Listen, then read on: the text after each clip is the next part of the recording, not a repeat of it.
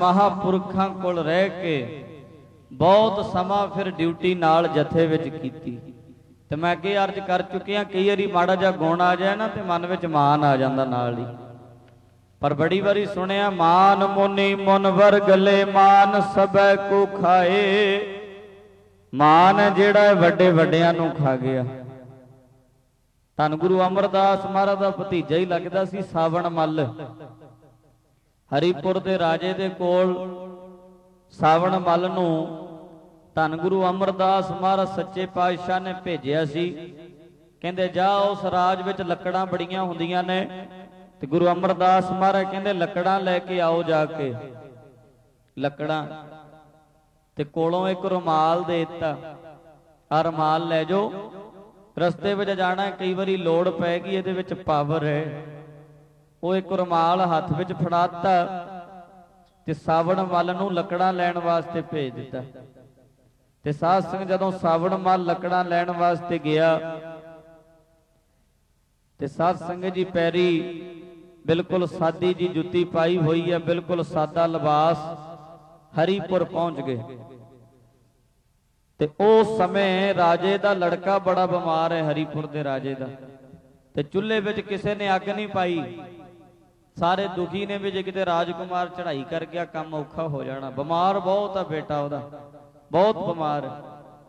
ਇਹ ਹੁਣ ਪ੍ਰਸ਼ਾਦੇ ਵਾਸਤੇ ਤੁਰੇ ਫਿਰਦੇ ਨੇ, ਕਿਸੇ ਦੇ ਚੁੱਲ੍ਹੇ ਵਿੱਚ ਅੱਗ ਨਾ ਪਾਈ ਵੇਖ ਕੇ। ਤੇ ਸਾਵਣ ਮੱਲ ਹੋਣੀ ਕਹਿਣ ਲੱਗੇ, ਭਾਈ, ਕਾਰਨ ਕੀ ਆ? ਚੁੱਲ੍ਹੇ ਅੱਗ ਕਿਉਂ ਨਹੀਂ ਪਾਈ ਕਿਸੇ ਨੇ? ਤੇ ਅੱਗੋਂ ਜਵਾਬ ਮਿਲਿਆ, ਕਹਿੰਦੇ, ਰਾਜੇ ਦਾ ਪੁੱਤ ਬਹੁਤ ਢਿੱਲਾ ਹੈ।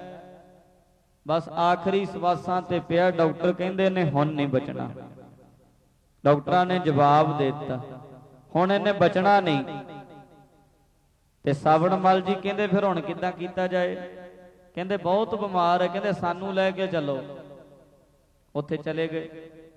ਵੈਦਾਂ ਡਾਕਟਰਾਂ ਨੇ ਜਵਾਬ ਦੇ ਦਿੱਤਾ। ਕਹਿੰਦੇ, ਪਾਣੀ ਦਾ ਲਿਆਓ ਗਲਾਸ। ਪਾਣੀ ਦਾ ਗਲਾਸ ਲਿਆਂਦਾ, ਜਿਹੜਾ ਗੁਰੂ ਅਮਰਦਾਸ ਮਾਨ ਨੇ ਆਪਣੇ ਹੱਥ ਦਾ ਰੁਮਾਲ ਦਿੱਤਾ ਸੀ, ਉਹ ਰੁਮਾਲ ਨੂੰ ਪਾਣੀ ਵਿੱਚ ਪਾਇਆ। ਉਹ ਜਲ ਬੱਚੇ ਨੂੰ ਛਕਾਤਾ ਤੇ ਉਹ ਬੱਚਾ ਬਿਲਕੁਲ ਠੀਕ ਹੋ ਗਿਆ। ਸਤਿ ਸ੍ਰੀ ਅਕਾਲ। ਜਦੋਂ ਬੱਚਾ ਬਿਲਕੁਲ ਠੀਕ ਹੋਇਆ ਰਾਜਕੁਮਾਰ ਠੀਕ ਹੋਇਆ ਤੇ ਉਹ ਤੇ ਡਿੱਗ ਪਏ ਚਰਨਾਂ ਤੇ। ਉਹ ਕਹਿਣ ਭਾਈ ਸਾਹਿਬ ਧੰਨ ਭਾਗ ਤੁਸੀਂ ਆ ਗਏ ਨੇ ਤੇ ਸਾਡਾ ਪੁੱਤ ਨਹੀਂ ਸੀ ਬਚਦਾ ਅੱਜ। ਤੁਸੀਂ ਬੜੀ ਕਿਰਪਾ ਕੀਤੀ ਤੁਸੀਂ ਬੜੀ ਰਹਿਮਤ ਕੀਤੀ ਜੋ ਸਾਡੇ ਕਰਮਾਂ ਨੂੰ, ਭਾਗਾਂ ਨੂੰ ਤੁਸੀਂ ਆ ਗਏ ਨੇ ਤੇ ਸਾਡਾ ਮੁੰਡਾ ਬਚਣਾ ਹੀ ਨਹੀਂ।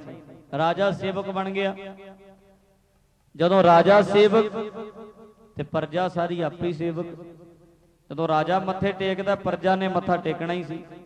ਸਾਵਣ ਮੱਲ ਦੀ ਪੂਜਾ ਗੁਰੂਆਂ ਵਾਂਗੂ ਹੋਣ ਲੱਗ ਪਈ। ਤੇ ਸਾਵਣ ਮੱਲ ਜੀ ਕਹਿੰਦੇ, ਲੱਕੜਾਂ ਚਾਹੀਦੀਆਂ ਰਾਜਣ ਤੇਰੇ ਰਾਜ ਵਿੱਚੋਂ। ਲੱਕੜਾਂ ਬਿਆਸਾ ਵਿੱਚ ਸਿੱਟੀ ਜਾਣੀਆਂ ਇਕੱਠੀਆਂ ਕਰਕੇ ਫਿਰ ਉੱਥੇ ਸਿੰਘ ਕੱਢ ਲਿਆ ਕਰਨ ਸੇਵਾਦਾਰ ਮਹਾਰਾਜ ਦੇ ਅੱਗੇ। ਇਦਾਂ ਹੀ ਕੰਮ ਚੱਲਦਾ ਰਿਹਾ। ਬਹੁਤ ਲੋਕ ਮੱਥਾ ਟੇਕਣ ਲੱਗ ਪਏ। ਕੋਈ ਨਾ ਕੋਈ ਆਪਣਾ ਦੁੱਖ ਦੱਸਿਆ ਕਰੇ। ਭਾਈ ਜੀ ਰਮਾਲ ਗਲਾਸ ਚ ਪਾ ਦਿਆ ਕਰਨ ਠੀਕ ਹੋ ਜਾ ਕਰਨ ਸਾਡੇ। ਬੜਾ ਸੋਹਣਾ ਕੰਮ ਚੱਲਦਾ ਰਿਹਾ। ਬੜੀ ਚੜ੍ਹਦੀ ਕਲਾ ਹੋਈ। ਸਤਕਾਰ ਬਹੁਤ ਹੋਣ ਲੱਗ ਪਿਆ। ਮਾਨ ਵਡਿਆਈ। ਪਰ ਮੈਂ ਅੱਗੇ ਅਰਜ਼ ਕਰ ਚੁੱਕਿਆ ਜੇ ਭਾਂਡਾ ਛੋਟਾ ਹੋਵੇ ਤੇ ਛੇਤੀ ਉਛਲ ਜਾਂਦਾ। ਭਾਂਡਾ ਜਿਹੜਾ ਛੋਟਾ ਨਾ, ਉਹ ਬੜੀ ਛੇਤੀ ਉਛਲ ਜਾਂਦਾ। ਤੇ ਜਿਨ੍ਹਾਂ ਦੇ ਉੱਤੇ ਕਿਰਪਾ ਹੋਵੇ, ਬਖਸ਼ਿਸ਼ ਹੋਵੇ, ਉਹ ਛੇਤੀ ਛੇਤੀ ਉਹ ਅਜਰ ਵਸਤੂ ਨੂੰ ਜਰ ਲੈਂਦੇ ਨੇ। ਸਮਾਉਣ ਦੀ ਸ਼ਕਤੀ ਹੁੰਦੀ ਉਹਨਾਂ ਵਿੱਚ। ਸ਼ੇਰਨੀ ਦਾ ਦੁੱਧ ਸੋਨੇ ਦੇ ਭਾਂਡੇ ਵਿੱਚ ਟਿਕਦਾ ਹੈ, ਜਾਂ ਫਿਰ ਬੱਬਰ ਸ਼ੇਰ ਪੀਂਦਾ, ਉਹਦੇ ਅੰਦਰ ਟਿਕਦਾ ਸੋਨੇ ਦੇ ਭਾਂਡੇ 'ਚ ਟਿਕਦਾ ਜਾਂ ਫਿਰ ਹੋਰ ਕਿਤੇ ਨਹੀਂ ਟਿਕ ਸਕਦਾ। ਤੇ ਸਾਧ ਸੰਗਤ, ਰੱਬ ਦੀ ਬਖਸ਼ਿਸ਼ ਵੀ ਜਿਹੜੀ ਆ ਨਾ, ਇਹ ਵੀ ਕਿਸੇ ਕਿਸੇ ਹਿਰਦੇ ਵਿੱਚ ਟਿਕਦੀ ਹੈ ਕਿਸੇ ਕਿਸੇ ਹਿਰਦੇ ਦੇ ਵਿੱਚ ਇਹ ਬਖਸ਼ਿਸ਼ ਜਿਹੜੀ ਆ ਨਾ, ਕਿਸੇ ਕਿਸੇ ਹਿਰਦੇ 'ਚ ਟਿਕਦੀ ਹੈ ਤੇ ਅੱਜ ਸਾਵਣ ਮੱਲ ਦੇ ਅੰਦਰ ਵੀ ਮਾਨ ਹੋ ਗਿਆ, ਮੇਰੀ ਪੂਜਾ ਹੋਣ ਲੱਗ ਪਈ। ਆਪਣੀ ਪੂਜਾ ਕਰਾਉਣ ਲੱਗ ਪਿਆ। ਤੇ ਗੁਰੂ ਅਮਰਦਾਸ ਮਹਾਰਾਜ ਦਾ ਚੇਤਾ ਹੀ ਭੁਲਾਤਾ ਆਖੋ ਸਤਨਾਮ। ਸ੍ਰੀ ਵਾਹਿਗੁਰੂ। ਚੇਤਾ ਹੀ ਭੁਲਾਤਾ ਮੈਂ ਗੁਰੂ ਅਮਰਦਾਸ ਮਹਾਰਾਜ ਕੋਲੋਂ ਆਇਆ। ਤੇ ਜਦੋਂ ਸਿੱਖ ਗੁਰੂ ਨੂੰ ਭੁੱਲ ਜਾਂਦਾ ਤੇ ਫਿਰ ਖੁਆਰ ਹੀ ਹੋਣਾ। ਰਸਤਾ ਛੱਡ ਕੇ ਜਿਹੜਾ ਕੁਰਸਤੇ ਪੈ ਜਾਏ, ਸੀਤਾ ਲੀਕ ਨਾ ਟੱਪਦੀ, ਰਾਵਣ ਕਿਉਂ ਚੁੱਕ ਲ ਜਾਂਦਾ? ਰਸਤਾ ਛੋੜ ਕੁਰਸਤੇ ਤੁਰਦਾ, ਸੋਈ ਧੱਕੇ ਖਾਂਦਾ। ਮਹਾਰਾਜ ਨੂੰ, ਮਹਾਰਾਜ ਦਾ ਚੇਤਾ ਹੀ ਭੁਲਾਤਾ ਵੀ ਇਹ ਦਾਤਾਂ ਤੇ ਮਹਾਰਾਜ ਦੀਆਂ ਹੀ ਨੇ ਨਾ।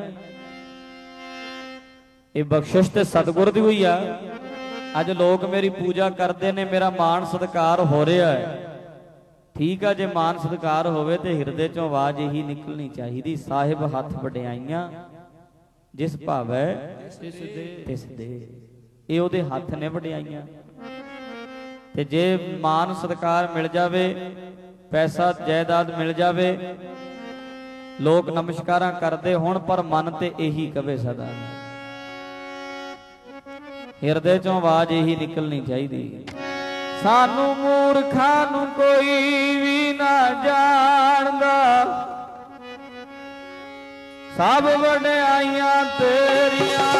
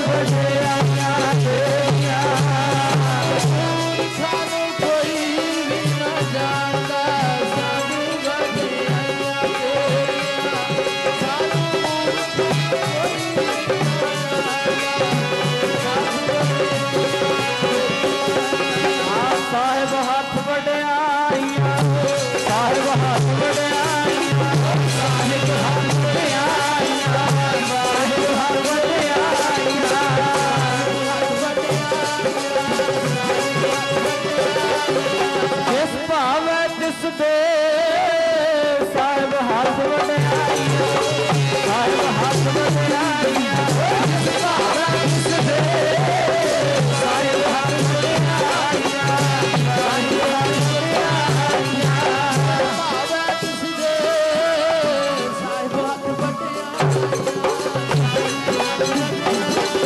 ਸਾਹਿਬ ਹੱਥ ਵਡਿਆਈਆਂ ਜਿਸ ਭਾਵੇਂ ਤਿਸ ਦੇ। ਸਾਧ ਸੰਗਤ ਕਿਸੇ ਦੇ ਕਹਿਣ ਨਾਲ ਗੱਲ ਨਹੀਂ ਬਣਦੀ। ਇਹ ਬਖਸ਼ਿਸ਼ ਹੈ, ਇਹ ਉਹਦੇ ਹੱਥ ਵਟਿਆਈਆਂ ਨੇ। ਕੋਈ ਆਪਣੇ ਆਪ ਥੋੜਾ ਬਣ ਸਕਦਾ, ਜੇ ਕੋਈ ਕਵੇ ਵੀ ਮੈਂ, ਮੇਰੀ ਵੀ ਪੂਜਾ ਹੋਣ ਲੱਗ ਪਵੇ, ਮੈਨੂੰ ਵੀ ਨਮਸਕਾਰਾਂ ਹੋਣ ਇਦਾਂ ਗੱਲ ਥੋੜਾ ਬਣ ਜਾਂਦੀ। ਕੋਈ ਆਪਣੇ ਆਪ ਜਿੰਨਾ ਮਰਜ਼ੀ ਯਤਨ ਕਰੀ ਜਾਏ। ਇੱਕ ਮੈਨੂੰ ਮਿਲਿਆ, ਕਹਿੰਦਾ, ਬਾਬਾ ਜੀ, ਬੜੇ ਚਿਰ ਦੀ ਇੱਛਾ ਸੀ ਵੀ ਮੈਂ ਉੱਠਾਂ। ਤੇ ਮੈਂ ਕਿਹਾ, ਫੇਰ? ਕਹਿੰਦਾ, ਉੱਠਾਂ ਉੱਠਾਂ ਕਰਦਾ ਸਾਂ, ਬਸ ਇੱਕ ਦਿਨ ਉੱਠ ਹੀ ਪਿਆ। ਮੈਂ ਕਿਹਾ, ਚੱਲ ਮਣਾ ਉੱਠ ਹੀ ਪਏ ਮੈਂ ਕਿਹਾ ਕਿ- ਉੱਠਣਾ ਕੀ ਹੋਇਆ? ਕਹਿੰਦਾ ਉੱਠਣਾ ਵੀ ਮੈਂ ਵੀ ਸੰਤ ਬਣ ਗਿਆ। ਕਹਿੰਦਾ ਉੱਠ ਪਿਆ ਮੈਂ ਵੀ ਮੈਂ ਵੀ। ਉੱਠ ਪਿਆ। ਪਰ ਕੀ ਫਾਇਦਾ ਤੇਰੇ ਉੱਠੇ ਦਾ ਜੇ ਸੁੱਤੀ ਪਈ ਸੁਰਤੀ ਹੋਈ ਨਾ ਉੱਠੇ ਆਖੋ ਸਤਨਾਮ। ਸ੍ਰੀ ਵਾਹਿਗੁਰੂ। ਜੇ ਤੂੰ ਵਿਸ਼ਿਆਂ ਵਿਕਾਰਾਂ ਤੋਂ ਹੀ ਉੱਚਾ ਨਾ ਉੱਠੇ ਜੇ ਤੂੰ ਦੁਨੀਆ ਦੇ ਮੋਹ ਤੋਂ ਹੀ ਉੱਚਾ ਨਾ ਉੱਠੇ ਜੇ ਕਾਮ ਕ੍ਰੋਧ ਲੋਭ ਮੋਹ ਹੰਕਾਰ ਤੋਂ ਹੀ ਉੱਚਾ ਨਾ ਉੱਠੇ ਇਹ ਤੇ ਬਖਸ਼ਿਸ਼ ਆ। ਇਹ ਤੇ ਦਾਤੇ ਦੇ ਹੱਥ ਵਡਿਆਈ ਆ। ਜਿਹਨੂੰ ਬਖਸ਼ਿਸ਼ ਕਰਨੀ ਉਹਨੇ ਕਰ ਦੇਣੀ। ਤੇ ਗਾਹਕ ਜ਼ਰੂਰ ਵੇਖਣਾ, ਬਿਨ ਬਿਨ ਗਾਹਕ ਗੁਣ ਵੇਚੀਐ ਤਉ ਗੁਣ ਸਹਿ ਕੋ ਜਾਏ। ਗੁਣ ਕਾ ਗਾਹਕ ਜੇ ਮਿਲੈ, ਤਉ ਗੁਣ ਲਾਖ ਬਕਾਏ। ਕੋਈ ਅਧਿਕਾਰੀ ਹੋਵੇ, ਉਹ ਬਖਸ਼ਿਸ਼ ਪ੍ਰਾਪਤ ਕਰ ਲੈਂਦਾ। ਜੇ ਕੋਈ ਅਧਿਕਾਰੀ ਹੈ ਉੱਤੇ ਕਿਰਪਾ ਹੋ ਜਾਂਦੀ। ਤੇ ਸਾਵਣ ਮੱਲ ਮਹਾਰਾਜ ਦੇ ਚਰਨਾਂ ਦੇ ਵਿੱਚੋਂ ਗਿਆ ਤੇ ਤੋਰਿਆ ਤੇ ਸਤਿਗੁਰਾਂ ਨੇ ਸੀ। ਤੇ ਜਦੋਂ ਲੋਕਾਂ ਨੇ ਮੱਥਾ ਟੇਕਣਾ ਸ਼ੁਰੂ ਕਰਤਾ, ਬਸ ਆਪਣੀ ਪੂਜਾ ਵਿੱਚ ਇੰਨਾ ਗੁਲਤਾਨ ਹੋਇਆ ਇਹ ਧੰਨ ਗੁਰੂ ਅਮਰਦਾਸ ਮਹਾਰਾਜ ਦਾ ਨੇ ਚੇਤਾ ਹੀ ਭੁਲਾਤਾ ਨਾ ਕਦੇ ਗੁਰੂ ਦੀ ਗੱਲ ਕੀਤੀ। ਆਪਣੀ ਵੀ ਗੱਲ ਕਰਿਆ ਕਰੇ ਸਦਾ ਆਪਣੇ ਆਪ ਨੂੰ ਹੀ ਮੁੱਖ ਰੱਖਿਆ ਕਰੇ ਸਦਾ ਮਹਾਰਾਜ ਦੀ ਵਡਿਆਈ ਨਹੀਂ, ਮਹਾਰਾਜ ਦੀ ਗੱਲ ਨਹੀਂ ਕਦੇ ਕੀਤੀ ਇਹਨੇ। ਤੇ ਸਾਵਣ ਮੱਲ ਕਾਫੀ ਸਮਾਂ ਸਤਿਗੁਰਾਂ ਦੇ ਕੋਲ ਰਿਹਾ।